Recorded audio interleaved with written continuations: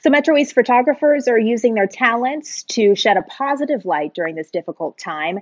And while many are snapping pictures, they're snapping those while they're stuck in their homes. It's all to raise money for an organization that helps families. Justin Andrews introduces us to the Front Steps Project.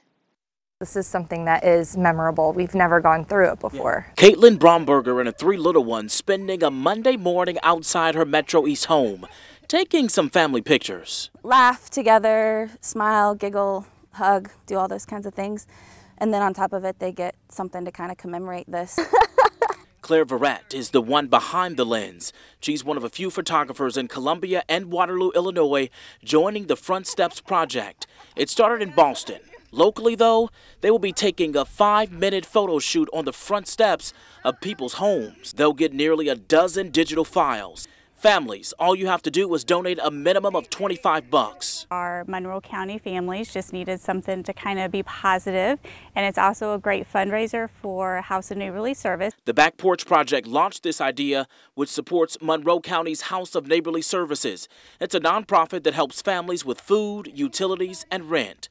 By taking these pictures and knowing so many people are stuck in their homes and isolated during this COVID 19 pandemic, Claire says she hopes this spreads some cheer hopefully just in a simple, beautiful way brings a smile to families. A smile, even on the faces of the little ones.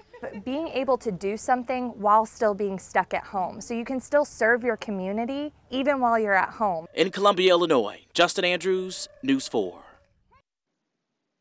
Super cool story. So, in less than a week that they've been doing this, they've already taken pictures of more than 20 families. They set a goal to raise $2,000, and so far, Steve, they're already past the halfway mark. That's outstanding.